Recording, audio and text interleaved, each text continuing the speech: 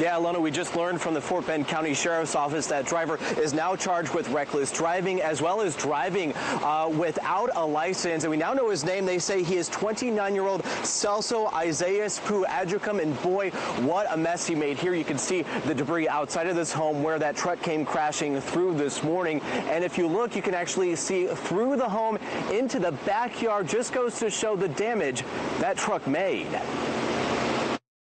Uh, we're doing okay. Uh, luckily, no, nobody is at home. It's a miracle no one was here when this truck came crashing through the Sukas Daddy's Katy home.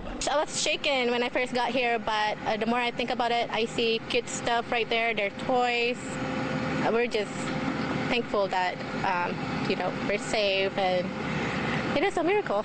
and, you know, we're really thankful. Their two young kids were at school today, but they say any other day they could have been right where that truck came through. The car hit through the back, which is uh, our living room, our playroom, and the computer room, where most of us usually is during the day. That's that's a miracle. That's what we call miracle. Deputies responded to a call of a truck hitting a tree.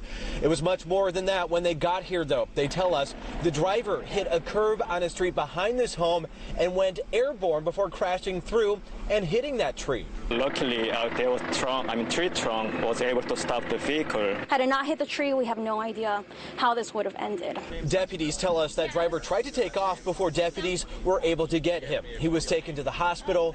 The car was pried from the tree and taken away. The Sakus daddies now have a lot to clean up. Yeah, they really do. And right now you're looking at the backyard fence. We've also seen deputies going through the home. They're continuing continuing their investigation. And you know, we've been talking with neighbors out here as well as the homeowners who you just heard from. They have all been helping each other out in this incident. And as for that driver, well, he was taken to the hospital with, believe it or not, minor injuries. We're live in Katy this afternoon. I'm TJ Parker, ABC 13 Eyewitness News. Unbelievable